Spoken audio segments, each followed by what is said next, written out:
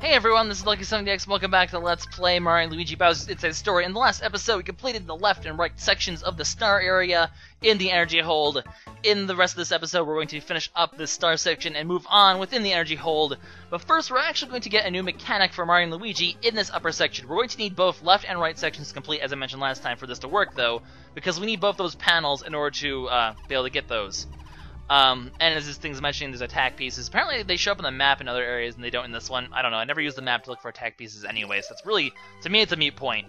But as you can see, we need that star panel to get into this door. And that's important because in this door, we're going to be learning our new mechanic. As you can see, we can't jump back up up here, so we're going to move on. Um, and, well, we're going to learn after we get do this thing, because it's going to be a drill. And to demonstrate it's going to be like, hey, you can do it like a drill. And because of that, we're going to learn how to drill. Unlike, uh, is this attack in a? But I don't think I don't remember if this attack's in Partners in Time or not. I don't think it is in Partners in Time. Is it? No, I think it is. I just don't. No, yeah, it is. It is for uh, Luigi, but unlike uh, for Baby Mario and Baby Luigi, they can do it. But um, unlike the first two games, um, the the drill attack is based off of the jump instead, the spin jump instead of the uh, the hammer move. Which I don't know for some reason it was always a hammer move. It makes more sense to be for it to be based off of the spin jump though, because you're spinning around like a drill. I don't know but it's in the same section as the spin jump. Um, so both of you spin jump, uh, you, you, spin down there. It's the basic drill thing. You see it in past Mario Luigi games. You, you dig down. Um, you can get through uh, low areas through that way, and also you can dig up sus suspicious spots. And you know what that means, guys, because in the first two games, when you dug up suspicious spots, you got suspicious spots. It's really a tough word to say. Uh, tongue twisters. But so as, as, you can see, we can actually dig on this, under this area now because of that. Um, and also in Bowser's in, in uh, Bowser's body, you'll find areas that when you dig down, it'll actually activate other things as well. So um, more active uses for the digging thing. And of course, the best use is for in 2D, you can actually uh, dodge enemies by digging underground, which is really our only hope to get past these guys. But even then, as you can see, because we're on a, on a raised platform, we can't even get up there, so there's really no way to avoid this guy now. So once again, enemies in this section, really hard to avoid. Kind of unfortunate, but that's how it works. Um, so anyway, we can uh, basically just defeat those enemies, and we'll talk more about digging. So like I said, suspicious spots, and I couldn't make it underground time. Unfortunately, it's kind of quick to you, you have to be on, ready for that to happen. Um, here's the other attack, but here's the attack of this guy when it's big though. Ugh, so much damage, 37 damage. As you can see, Mario's pretty much hurting. So for once in this game, I'm going to use an item. That's right, I'm resorting to using items to heal Mario. I mean, the, the amount of enemies in this in this area to fight, you generally get a little overwhelmed more than nurse socks and uh, small shells, and your uh, healing from the badges can kind of sort of uh, overcome. So eventually, you're gonna have to sort of deal with that. Anyway, like I said for like three times now, try to say the sentence. A suspicious spots on the ground, you'll be able to get beans, and beans in this game function a lot differently from the way they function in um, the other games, pretty much. Um, because they, uh, in the other games they used to buy stuff, or well, I guess they were used to enhance stats in uh, in in the first game, Superstar Saga. This harkens back more of that because um, it's not like Partners in Time where you use beans to buy stuff.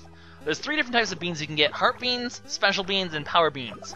What you can do, um, unlike the other game where you have to drink coffee in order to uh, increase your stats by blending beans into coffee, these beans um, will actually be a one-to-one -one increase. So every single bean you get um, you'll pick up Bro, and you'll be able to increase that stat by 1. So HP, SP, and Power, you can increase both Mario, Luigi, and Bowser um, by using these Heart Beans and Special Beans and Power Beans. Uh, now, we're, we're not actually going to find any Power uh, Power Beans in this area, unfortunately. There's only going to be Heart and Special Beans here, and you find them wherever you dig into one of these spots here that are all shiny. So, find a shiny spot. Really? Really? I totally went underground there. Bullshit. Ah! I just want to avoid these enemies. Ah! Those Promplops can snipe you from so far away. So obnoxious. But um, that's that's the way they work. Um, so once I collect a good amount of beans, I'll actually go into the menu and uh, I'll show you how they work in a second. Uh, because basically, um, so unlike the other game, which is why they're a little bit broken in a way, because um, you know, back in Superstar Saga, you know, it'd be like 20 beans for like a four, like a five stat increase, for example. This one, it's one to one, so every bean is a stat increase. So every single time you get a bean, although granted, there's a lot less beans in this game than there is in Superstar Saga. So I mean, I guess in the end, you're not increasing the stats by that much. Um, but it is a one to one increase, unlike uh, past games. I mean, not, uh, like I said, there aren't as many beans, but there's enough that these actually are a very significant way to increase your uh, HP, SP, and power.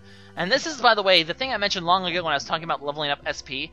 This is why I wouldn't level up SP more than once, because these SP beans, the special beans, they're going to be what enables us to use a multitude of special attacks now, because it's going to actually grow our SP really fast.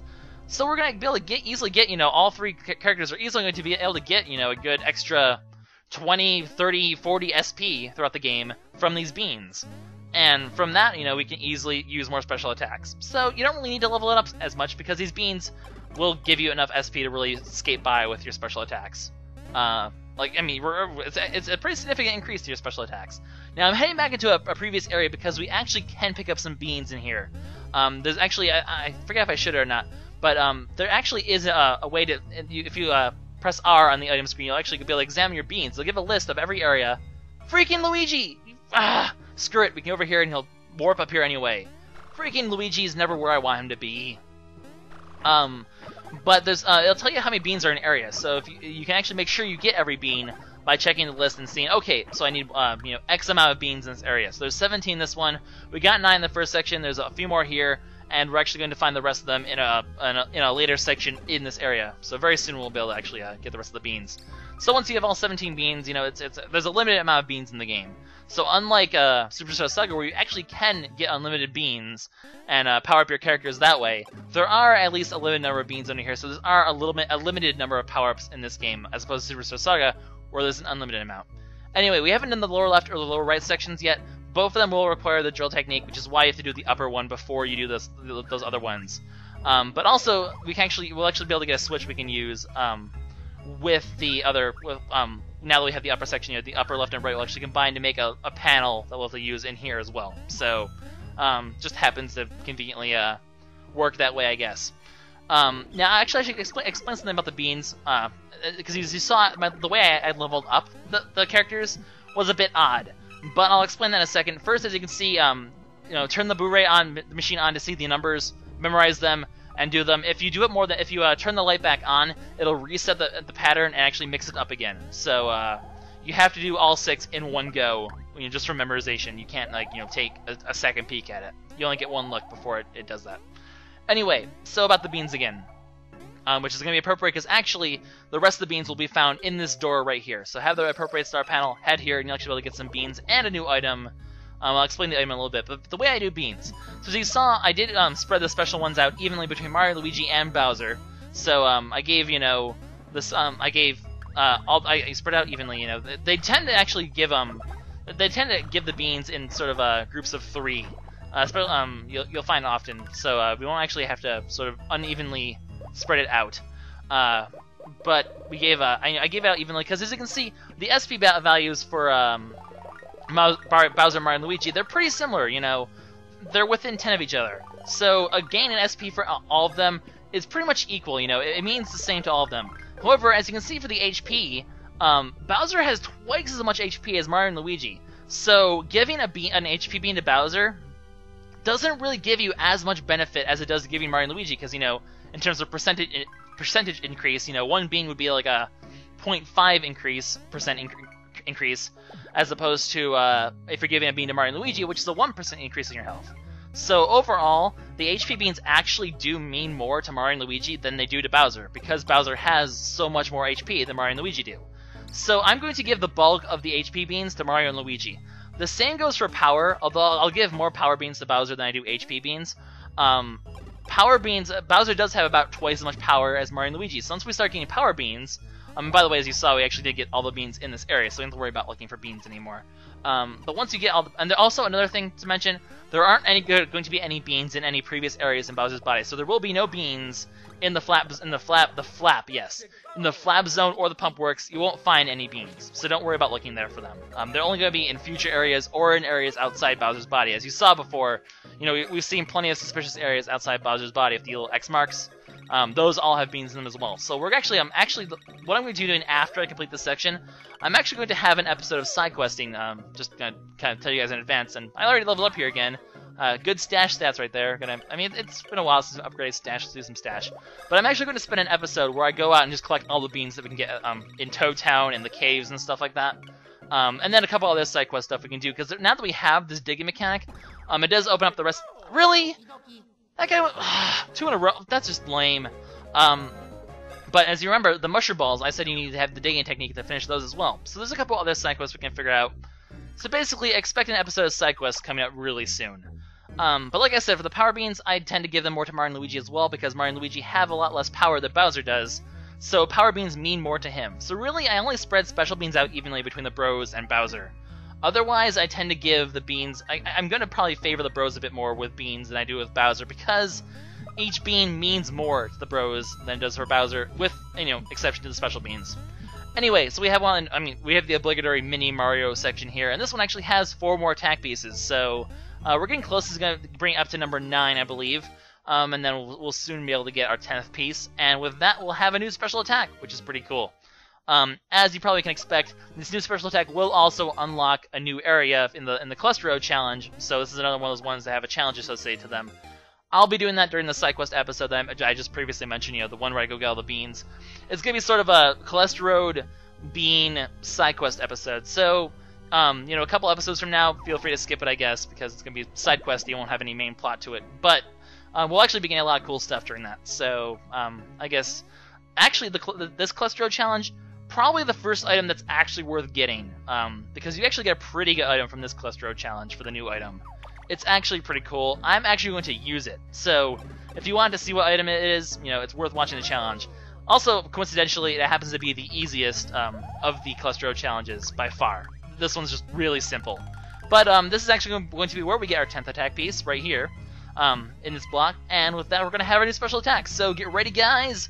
It's time for a new special attack! Excellent. This one's... This one's weird. I don't know if I necessarily like it. It does a lot of damage. Um, it does actually take a while too. It's like the, it's like almost like it's not nearly as bad as Pocket Chomps from Partners in Time, but it's a, it's a pretty um, compared to stuff like the Jump Helmet, it's a pretty length or the Yoo-Hoo Cannon. It's a pretty lengthy attack because there's just so much involved to it. So you hit basically you hit Luigi up in the air, you spin him around, and then you just keep hitting. You know, you press A to jump.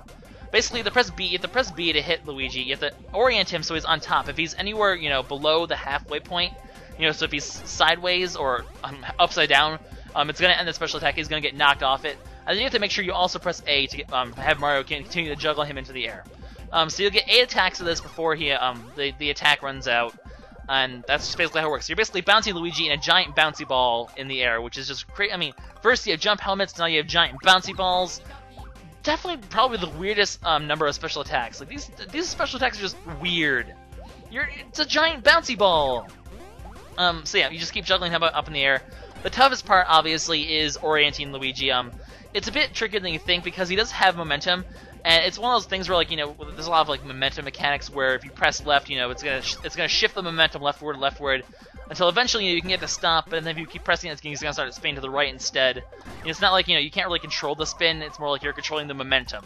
So you keep pressing, you keep tapping left to change the momentum until he's like you know stopped vertically is what you want to do. So you want to basically just halt it until he stops, I'm just gonna start a script here. I love that script where he Mario forgets to jump up and he just he's like Luigi no, and he just bounces off into oblivion. But um, that's how the that's how this uh that the attack works. You basically uh, have to orient Luigi correctly, press B to land, and then make sure you press A to keep Luigi juggling in the air. Very interesting attack. It does do quite a bit of damage. It does cost as much as the Yoo-Hoo barrels as well. So, as of now, the Yoo-Hoo barrels and the um, bouncer will do a lot of damage. However, they both are multi-target attacks, so if you do have multiple enemies, it will target all of them.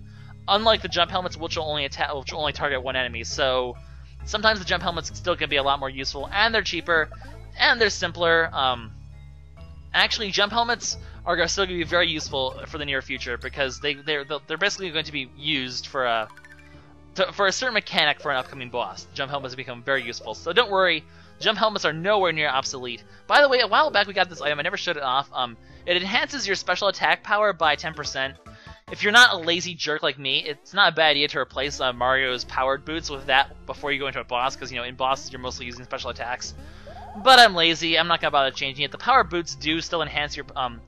I guess it's you know it's it's it's, it's a trade-off. You can get either um, more powerful special attacks, or you can get more power, which will power up your special attacks because your special attacks still are based upon your power, but it'll also power up your uh, your normal attacks as well. Just not it won't power your special attacks up as much though as the special boots do. So it's a trade-off really. Anyway, now, even though we got the star thing done, as you see, we're actually nowhere near done with this area. There's actually a whole nother section of this area to do before we get to the boss. So nowhere near done. But before we end this episode off, this cutscene is hilarious. This is probably my favorite cutscene in the game because it's basically just a couple minutes of Luigi trying to catch the worm. Just like this is the epitome of Luigi comedy relief. So you know we get to end the episode off with some laughs. So first of all, he's trying to play sort of peekaboo with this thing to try to get to not be scared, and instead the worm starts sucking his ass. That's disgusting. Why would you bite Luigi's ass? Why would you bite? And uh, he's an Italian plumber. You would you don't want to go anywhere near an Italian plumber's ass. Let me tell you that. That's just that's just the epitome of the disgusting right there, I'm sure. So no wonder the guy was like, "Ugh, tastes horrible." Yeah, you don't want to be biting people's asses, buddy. Um, anyway, now Luigi is trying to catch this thing, not realizing that, um, hello, dude, the worm is, you know, digging. It apparently can drill through the ground just like we can. So this episode's so full of drilling. That sounded wrong, but, um, so Luigi's obviously failing in comedic fashion to get the worm, and he's like, where's the worm? I don't know where the worm is. Turns out the worm is once again on his ass. Did you not learn the first time? It just it tastes disgusting, and yet you go back for seconds. Why would you do that, worm? You're ridiculous. You are a silly biscuit worm. And then, of course, to add insult to injury, after trying so hard, he fails, and then the worm farts in his face. The worm just farted in his face. I love this guy. He's so funny. But um, Luigi's miserable. Oh well. This is LuckySevenDX signing out. See you next time for more Energy Hold.